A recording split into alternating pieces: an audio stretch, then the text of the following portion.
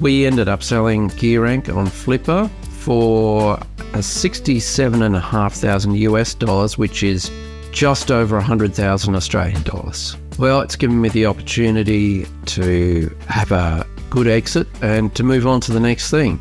I think we both felt it's time to move on with our lives.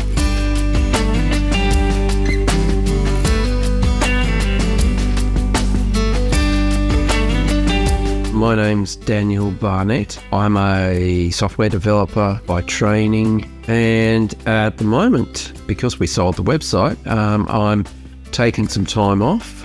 I play music. I like to write songs and love of music. I think it started in high school. I think my parents gave me a guitar as a present, and then I fell in love with it. My friend and, and business partner had created a website. Uh, The, the internet was kind of just starting to explode, and he had created a music software directory. That's where it all started, and then sort of fast forward 20 years later, turned into a lifestyle business, um, and the old sites were declining, and so we sort of started up a new site, which was Gearank, which is um, became our main thing.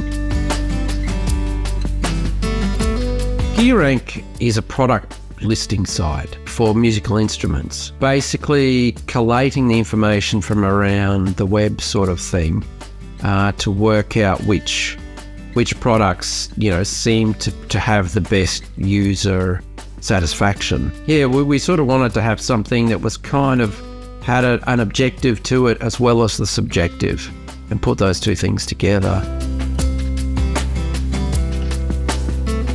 After a period of time, we just thought, been sort of working at this for 25 years, I think we both felt it's time to move on with our lives.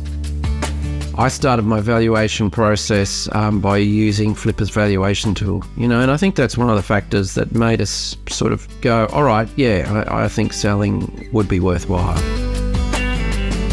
As soon as we listed, uh, we had people inquiring. It was great that we had someone like our dedicated sales rep, Ashwin, to sort of help us along with that process. We ended up selling Gearank on Flippa for a sixty-seven and a half thousand US dollars, which is just over a hundred thousand Australian dollars.